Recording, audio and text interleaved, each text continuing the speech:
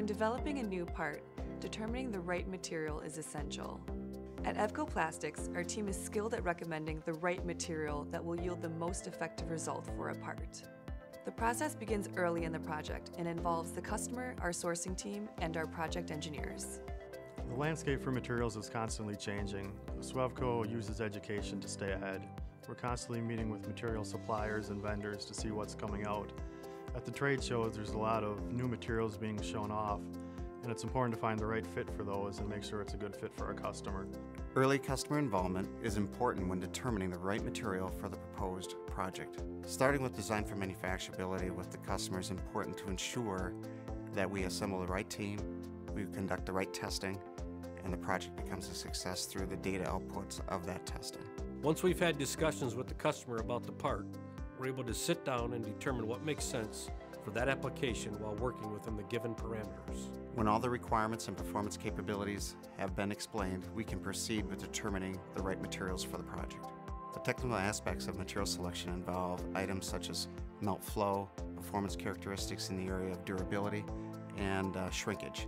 Once the materials are understood between us and the customer, the next steps would be to look at uh, the performance characteristics of those materials, customer's expectations, and working with the tool build uh, team within EVCO to make sure that we can meet the customer's expectations long term.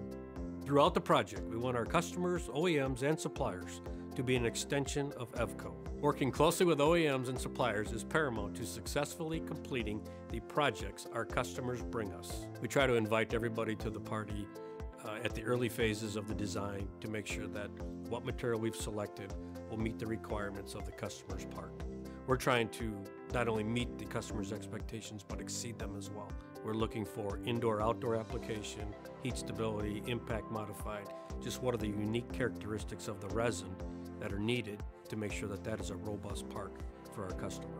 EVCO's process and experience in material selection is a real asset. EVCO depends highly on our suppliers and the latest technology to help our customers select uh, the material that's right for their project. Uh, new plastics, new technologies, um, metal to plastic conversion, uh, elimination of paint technologies. Every customer's application has a best fit.